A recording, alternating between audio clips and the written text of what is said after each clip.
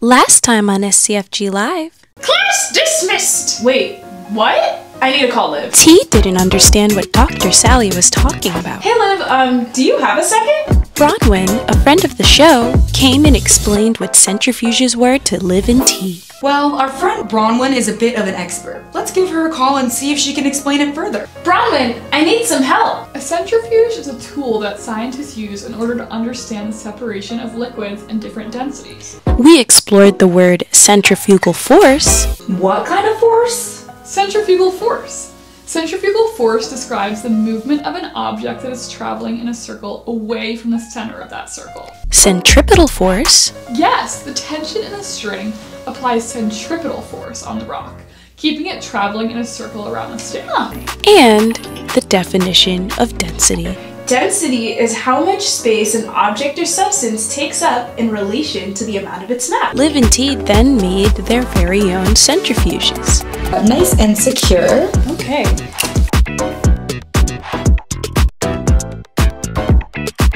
And now, time for part two of that experiment. So, um, the next steps we have will be kind of messy, so I think we should put down some reinforcements, make sure our area doesn't get all dirty. Totally agree, Liv. Let's put them down. Okay, so we have two cups, and we're gonna make sure our cups are labeled cups one and cups two. Great. So now what we're going to do is we're going to take our glitter and we're actually going to put this in cup one. Okay. But first we're going to measure it. All right. So what you want to do, young scientists, is take a little bit of the glitter and measure it by putting about as much that would fill the top of a cap. Good job, Liv. Wow. Pretty color. That's perfect. Alrighty, and I'm putting it in cup number one. Cup number one. Alrighty. Yay! Beautiful. Okay, so what we're going to do next is we're going to add some water to cup two. And how much water should I add, T? I'd say maybe to like about the third line. Yeah, sure.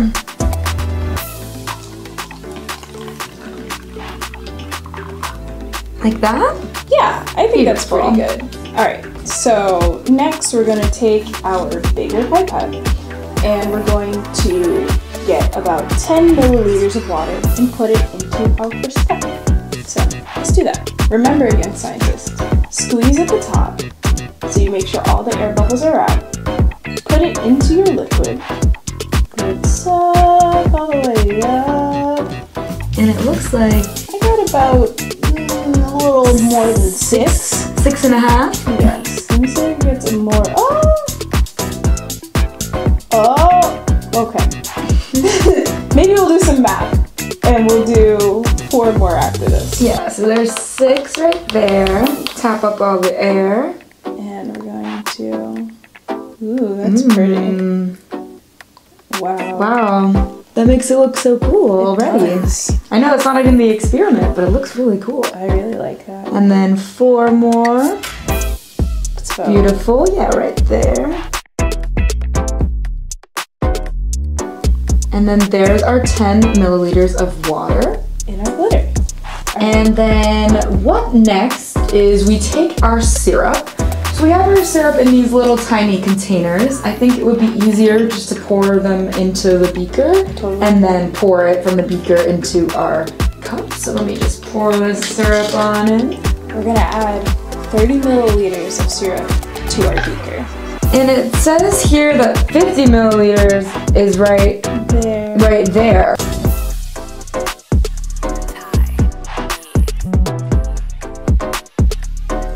Pour all the syrup in there. Hey. The last thing you have to do is put some dish detergent into the cup. Just one little drop. Lovely drop. Thank you. and last thing um, with our little mixture, I'm just gonna like stir it all up with our little pipette. Stir it and then we are gonna um, put one or 0.4 milliliters um, of this um, substance that we've created into our miniature centrifuge tubes. Cool. So I'll squeeze all the air out first, then I'll go in, get some of that Ooh, Syrup glitter that goodness. good, like, pipettes insertion. Thank you. Yeah. All right, got some bubbles there from the from the soap. Just gonna pop those. And I'm gonna leave a little bit um, of room before I cap it off, just so we don't um, get any excess liquid out on these tubes.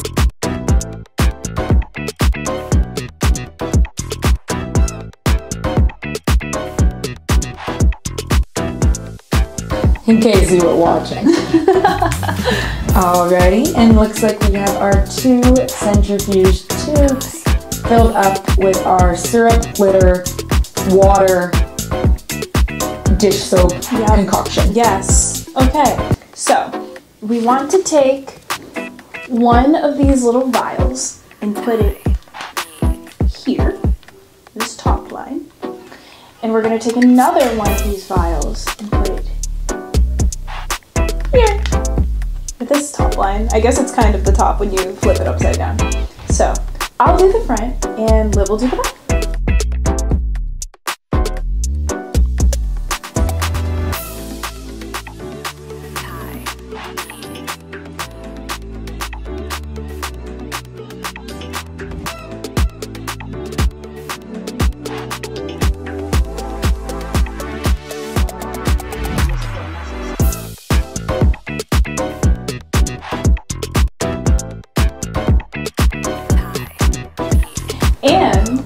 Can see The result. the result. The. Result. All right, Liv, your turn. Beautiful. So it's taped up here on this top. So what I'm gonna do is tape it on the bottom so they're directly opposite from each other. Just like we did with the button. Yes.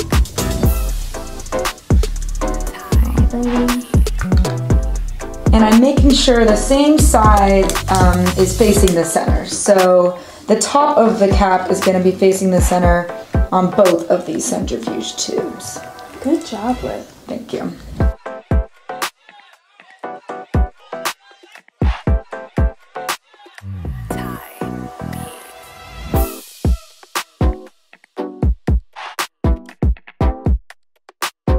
I'm an expert at taping. Oh my gosh. Alrighty, so after everything is um, nice and taped, it should look something like this.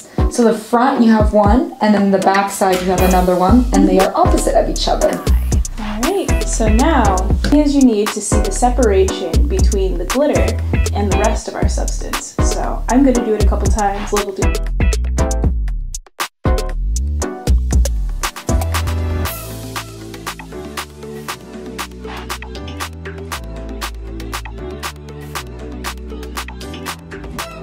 Oh.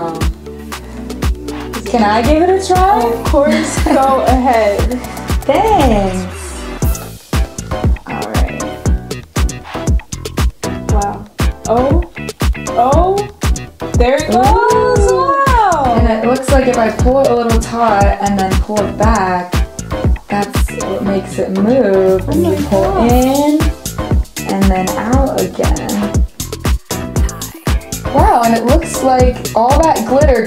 To the bottom or the outermost edge, um, you know, of our, our CD, and it looks like the same thing happened to the other one too. So it's very important that we understand that the reason why it did fall to the bottom is because that this substance is more dense than the rest of the substances, the water, the dish soap, the syrup that we have in here. And that's what happens when you put things through a centrifuge. When you put liquids or substances in a centrifuge, they separate from one another thanks to the centrifugal force, and the denser object goes to, as you can see, the bottom and the less dense object goes more to the top. Wow, T, that's so amazing. That that separation is so cool. I'm, I'm amazed that we made our own centrifuge just like that. Yeah, and you know what's even cooler is that our friend Kaitlyn, Dr. Kaitlyn, is next door, and she has some clips to show us about her own real life centrifuge. Really? I can't wait. Let's check it out. Yeah.